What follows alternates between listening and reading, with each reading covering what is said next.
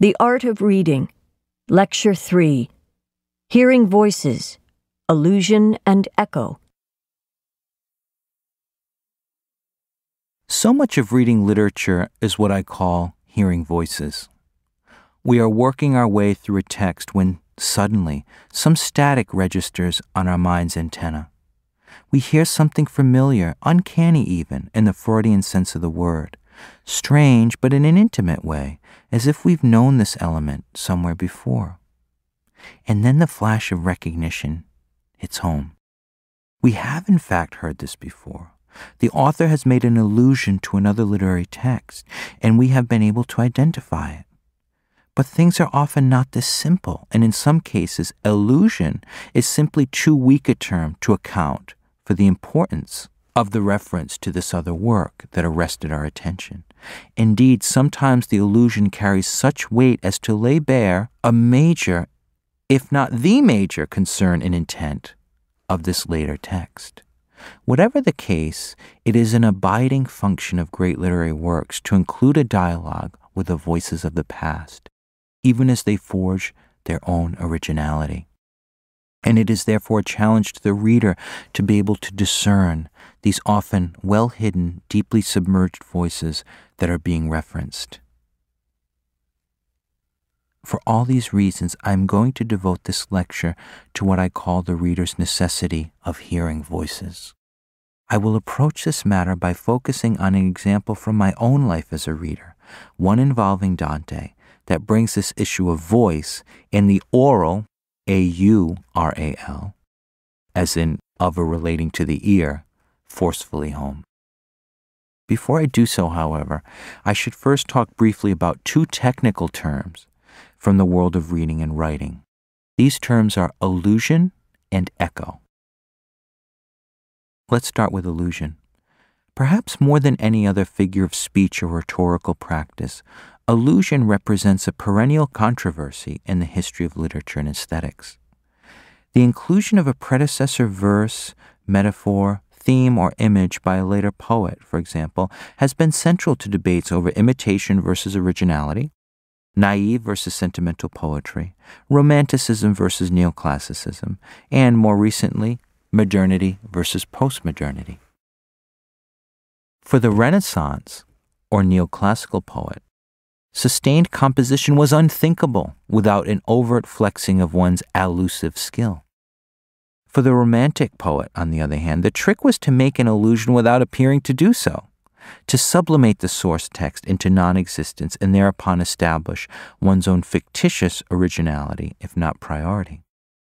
For the postmodernist, allusion itself has become somewhat quaint, anachronistically literary practice, updated to the more ironic strategies of citation like pastiche, palimpsest, or even the erstwhile Pierre Menard of Borges with his verbatim translation of the of Don Quixote comes to mind. Exact replication.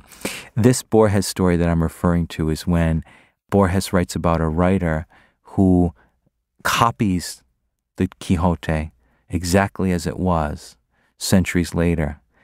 And Borges very ironically describes this as a radical translation that preserves the inherent antiquity and opacity of the original source. So that's just kind of an example of an extreme form of allusion to basically reproduce a text.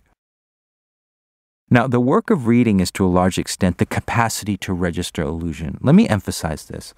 When you start to read seriously, when you start to read extensively, you start to build up a repertoire, an archive, as it were, of works that you know. And then you'll read a book and there'll be a kind of gesture toward or inclusion of one of these other works, and it will give your own sense of this new work that you're reading a real sense of its literary texture. It, it really adds to the appreciation of reading and to an understanding of a literary work. So, allusion is key to the reader. To detect allusions is key. It reveals the literary principles of a work it gives you its influences, and it suggests or even states its themes. Allusions appear to us in many shapes and sizes, some obvious and some obscure. Often they appear indirectly. This is where things get a little more tricky and interesting. Mediated through language or even theme. In some cases, they are what may be termed echoes of an original source, an echo. John Hollander describes the situation like this Echo is a way of alluding that is inherently poetic rather than expository, and makes new metaphor rather than learned gestures. Poets seem to echo earlier voices with full or suppressed consciousnesses that and of how they are so doing, by accident or by plan, but with the same shaping spirit that gives form to tropes of thought and feeling.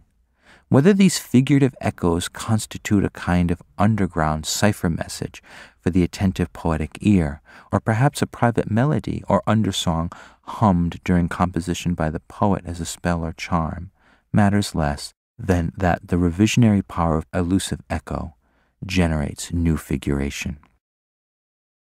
Now, I've talked about what's about to follow elsewhere in an essay called Echoes of Andromache and Inferno 10 that I published in Dante Studies, and I'd like to revisit that essay for this, this lecture on hearing echoes. Hollander's notion of echo as an ambiguous form of allusion that at once gestures in the direction of a source, yet at the same time establishes its freedom from that origin by generating new figuration, perfectly encapsulates what occurs in Dante's reworking of an episode from Virgil's epic poem, the Aeneid, and Dante's own epic, the Inferno, part of his Divine Comedy, which was written 1307 to 1319. Now, Inferno 10 is one of the most justly celebrated in all of Dante, and to my mind, it represents a summit in the history of Western literature, one of its peaks.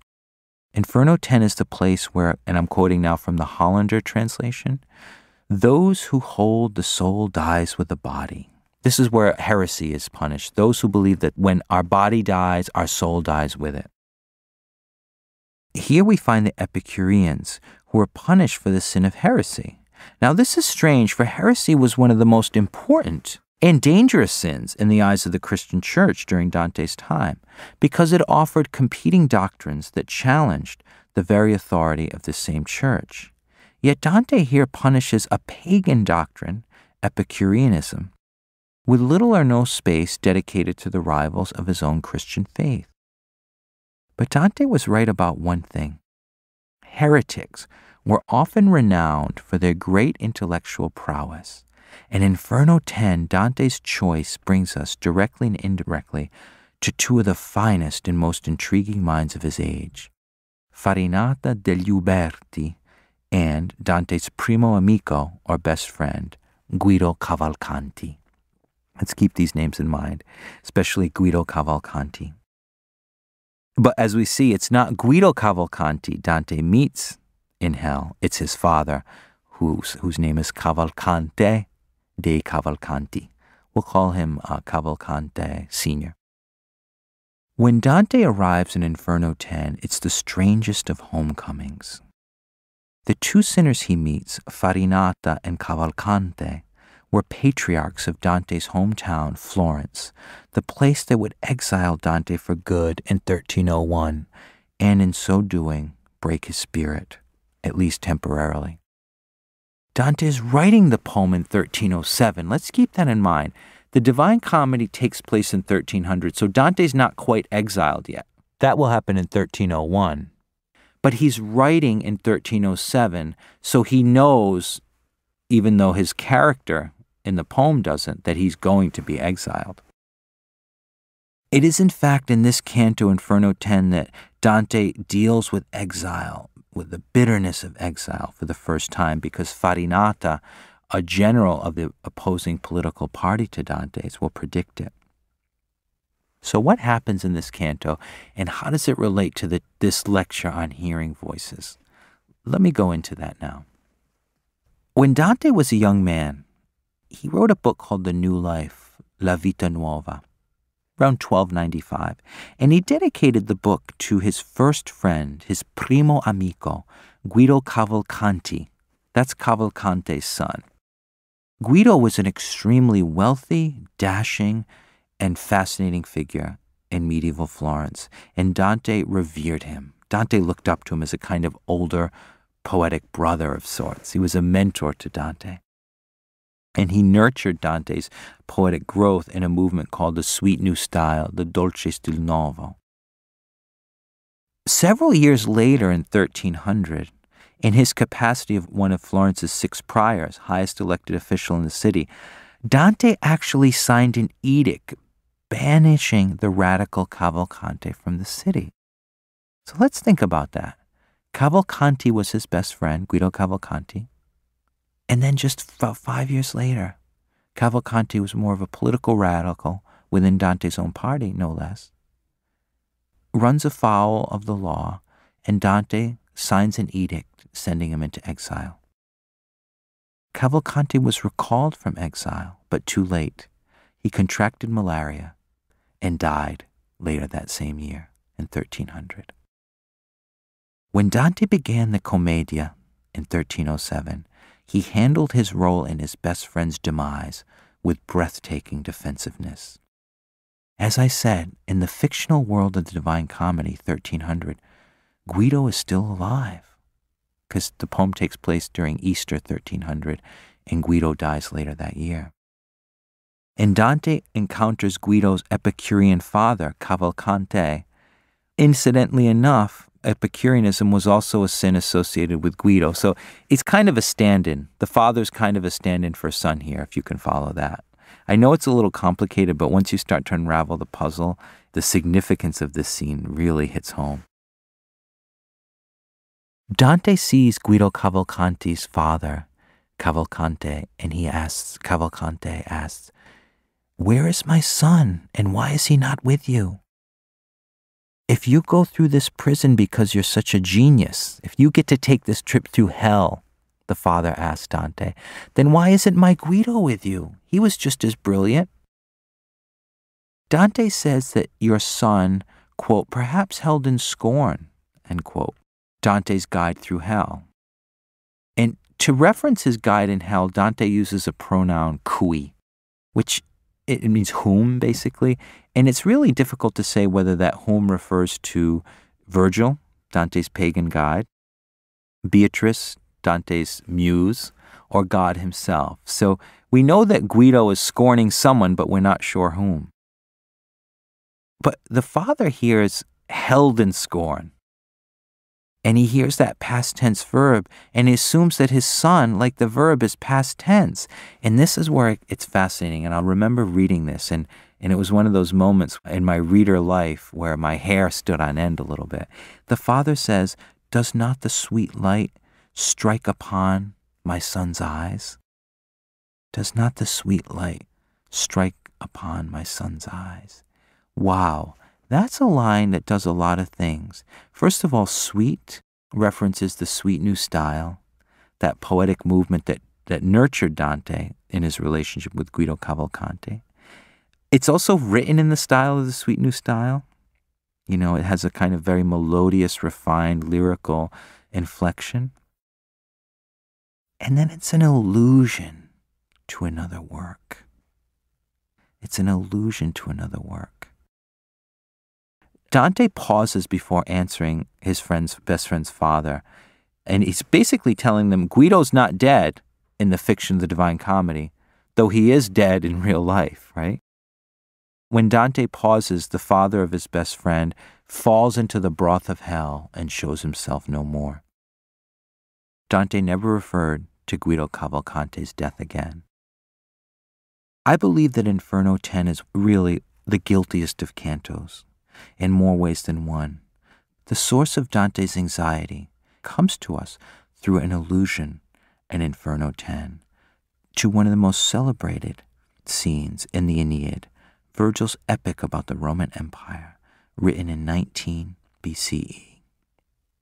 The episode I'm referring to is the Little Troy episode, the Parva Troia in Latin. Let's see how this happens now, I said to you when I read that line all those years ago, Why is my son not with you? Does not the sweet light strike upon his eyes?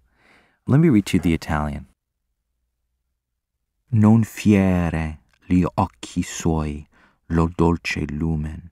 Does not the sweet light strike upon his eyes? I had heard that line before. I knew it. I was hearing voices, if you will. I was getting an allusion, and I knew this wasn't just a mere flexing of Dante's readerly prowess, that this allusion has a lot to it, it carries a lot of weight. The line nearly jumped off the page. I'd heard it before, I could just feel it, but wasn't sure where. And then my mind went back to the Aeneid. Dante's beloved text. Remember, Virgil is Dante's guide through Inferno and Purgatory. And a memorable scene that features in the Aeneid what I will call the Trojan version of Disneyland. With the flames of his lost city only recently left behind, Virgil's protagonist, the epic hero Aeneas, recounts to Dido, his queen, for whom he'll fall in love and have this tragic love affair with, recounts to Dido how he left the burnt plains of Troy in tears and as an exile in search of a new homeland. After false starts, Aeneas is reminded by the Penates, the household gods he had rescued from Troy, of his true destination. I'm quoting now from West's prose translation of the Aeneid. Quote, a region for which the Greeks used the name Hesperia, an ancient land with might in her arms and in her fertile soil. This Italy is our true home. Fortified with this promise, the Trojans set sail in search of a second Troy, in what today is the Italian peninsula. Then things get very interesting. Blown off course, the ships detour into Buthrotum, where Aeneas hears, quote, a tale almost beyond belief. A story whose mix of the familiar and the unimaginable Freud would later describe in terms of the uncanny. Buthrotum, it turns out, is a Greek city under the rule of Priam's son Helenus, who has taken Andromache, Andromache, the former wife of the great warrior Hector, slain by Achilles in the Iliad, as his queen. Aeneas encounters Andromache performing a ritual sacrifice to the ghost of Hector. He is overcome by the prospect of her wild tears and, one imagines, symptoms of a word which would not be invented till many centuries later nostalgia. The land Aeneas has stumbled upon is a copy of his lost home, peopled by old friends. So you understand what's happened. Aeneas is blown off course and he lands in this basically a city that's a replica of Troy. Can you imagine what he felt after all that wandering, after seeing Troy burnt to the ground by the Greeks because of the horse? He finds us essentially a little replica, as I said, a kind of Trojan Disneyland. The land he has stumbled upon is a copy of his lost home, peopled by old friends, with, quote, a citadel built to resemble the old city, unquote, of Troy, and a river named after the Trojan Xanthus. But Aeneas's nostalgia gives way to pity, for a funereal atmosphere pervades the city, to which Aeneas refers to with the pejorative tag, Parva Troia, little Troy. In her unstinting grief and obsession with the past, Andromache seems more dead than alive, and the Xanthus River itself is described as dry, arens. Virgil refashions the Trojan polis into a necropolis, a city of the dead that Aeneas will leave. He cannot return home, he learns in Aeneid 3, because home no longer exists he will perforce continue to wander and seek not a second Troy but a new Rome, which for all its glories and regenerative force will always remind him of a former life lost. Okay, the story I've narrated so far is a familiar one, but where does Dante, and by extension Cavalcante, father and son, fit into all this? Well, let's focus on what Andromache says when she encounters Aeneas. I've given you the kind of story. Let's go back to that initial encounter. The wife of the great Trojan hero Hector, taken in captivity, forced to live in this kind of parva Troia, this little Troy, obsessed with the past, performing funeral rites. Andromache says to Aeneas, she asks him, and I'll give you the Latin first, aut si lux alma recessit, which we can translate basically as she essentially asks him, Are you living? And then she says, when she says, Aut si lux alma recessit, she's asking him, or if the sweet light has fled, right? Um, and then she says, If the sweet light is fled, where is Hector? Now, where have we heard those lines before? We heard it in Inferno 10. Now, why would Dante put in Italian the same words from the Latin of the Trojan queen Andromache? What does that do? What is that allusion? Better, what does that echo? Because it's a different language. You see how it's kind of the way an echo is a refraction, an oral refraction? What's going on here? As I said, this is exactly what Cavalcante de Cavalcanti asks of Dante. Non fiere li occhi suoi, lo dolce lumen. Does not the sweet light strike upon Guido's eyes? Extraordinary. Dante quotes Virgil, translates his Latin into Italian, and translates the story of an imperial quest into a Christian's pilgrim's journey through hell to confront the ghost of his best friend's father, and by extension, the ghost of his best friend himself. Through this echo or allusion, Dante channels all his ambivalence and guilt, I believe, regarding this one time best friend into a literary sequence that challenges the reader to detect the trace of the Virgilian subtext in and through figures that are themselves ghost like, First, the mournful Andromache in Aeneid 3, and then Cavalcante Senior in Inferno 10.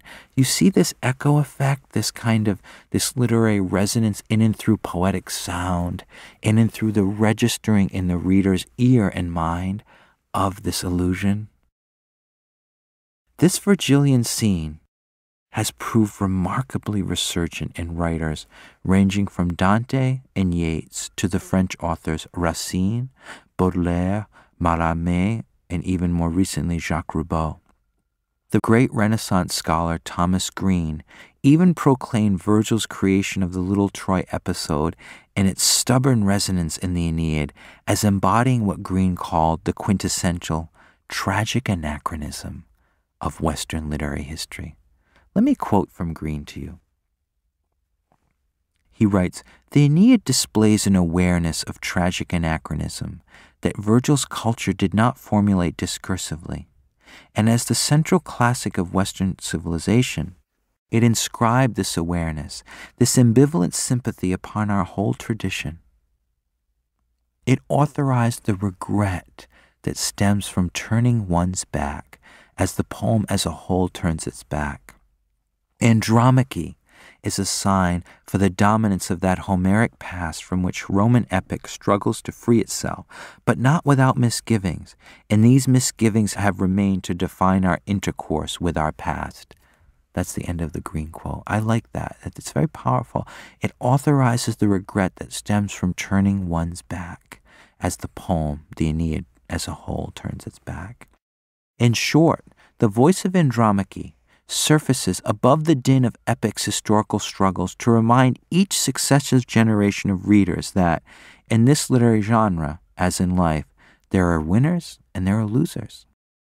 In order to advance the claims of the Aeneid, Virgil pointedly circumscribes the voice of Andromache and by extension the architectural echoes. We not only have oral echoes here, but we have architectural echoes because the, the city of Buthrotum, looks like Troy, right? It's a kind of visual refraction of it.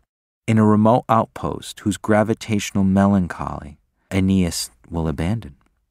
The resilient voice of Andromache and her failed replication of Troy thus appear as a ghostly trace in a Virgilian master narrative about epic building that is suppressed, yet never wholly eliminated or even satisfactorily absorbed.